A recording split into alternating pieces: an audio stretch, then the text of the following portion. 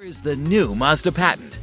Let's analyze it in detail to understand this engine that seems simple, but is not. First, we have an engine with camshafts, intake, and exhaust valves.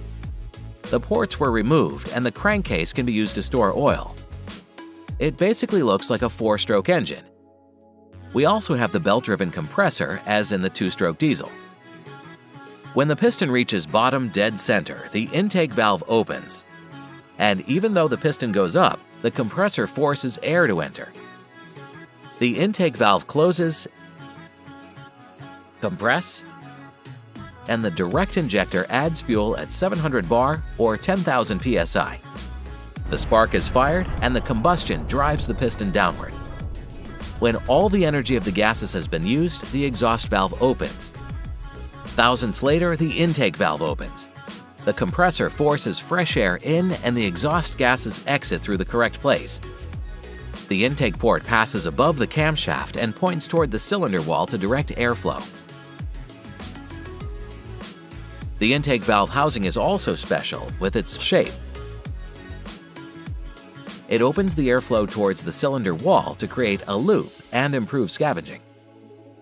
The intake and exhaust process is carried out at the same time. With the help of the compressor, it is basically possible to convert the four-stroke engine into a two-stroke. Now, the camshafts rotate at the same speed as the crankshaft, while in a four-stroke, it's half the speed. The engine also incorporates additional technology such as variable camshafts, which allows an EGR system.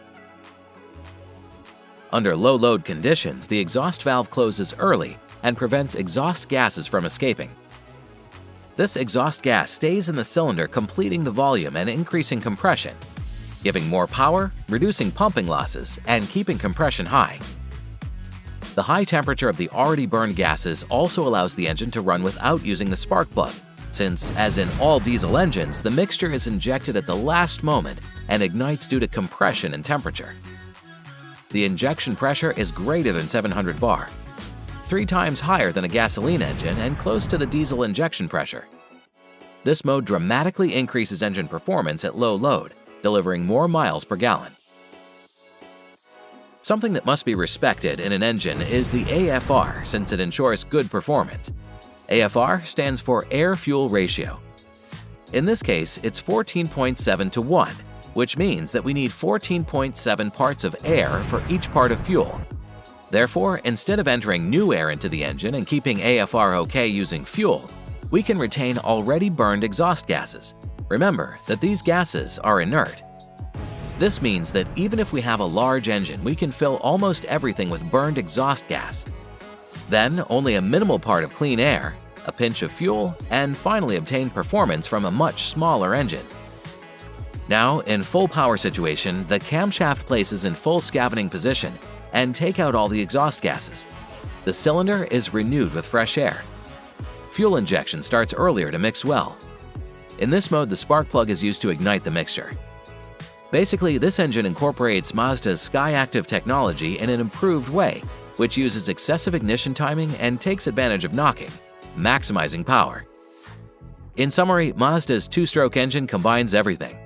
Valves like a four-stroke engine that allow precise control of the gas flow. Diesel EGR system which reuses gases to keep compression high and lower emissions. One spark per RPM like two-stroke engines, doubling the use of the cylinder and reducing the size of the engine. No oil burned. Air compressor like two-stroke diesel. SkyActiv system to increase the performance of each drop of gasoline and burn it as if it were diesel, achieving more efficiency. And finally, a very high compression ratio close to 16 to 1. We hope that this engine begins to be sold soon so we can hear its sound, and who knows, it may sound like this. Like a V8?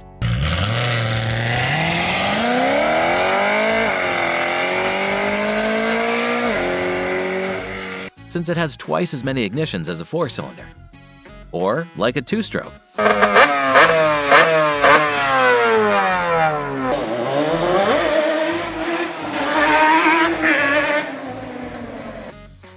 Like both at the same time.